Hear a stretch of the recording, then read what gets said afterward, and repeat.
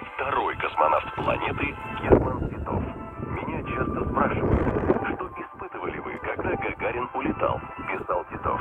На космодроме стало как-то пусто. Мои чувства и думы можно было в какой-то степени сравнить с думами и чувствами летчика, провожающего своего товарища в первый полет на новом самолете. Конец цитаты. Но космонавтом-дублером, тогда чаще говорили запасным, Титову предстояло оставаться недолго, через 4 месяца.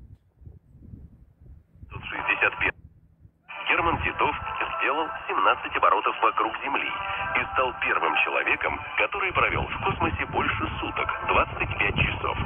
С тех пор Титов в космос больше не поднимался. Но увидеть и понять он успел очень многое. Вот что рассказывал Герман Степанович на одной из пресс-конференций. У меня чувство удовлетворенности.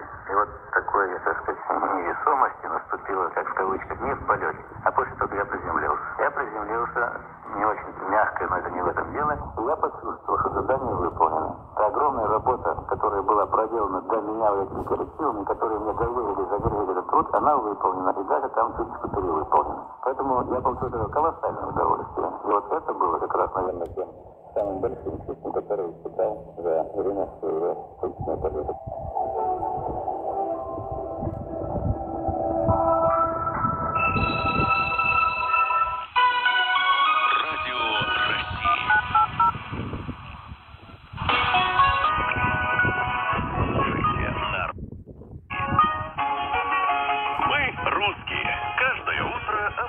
Стакан горькой, мы идем в Акарон проверять ядерный реактор.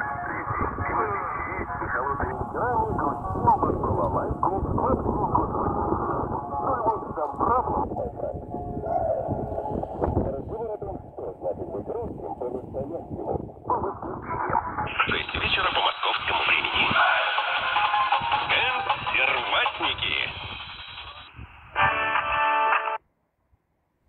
Ирина Озерская и я, ведущая программы «Школа для родителей». Мои коллеги называют эту передачу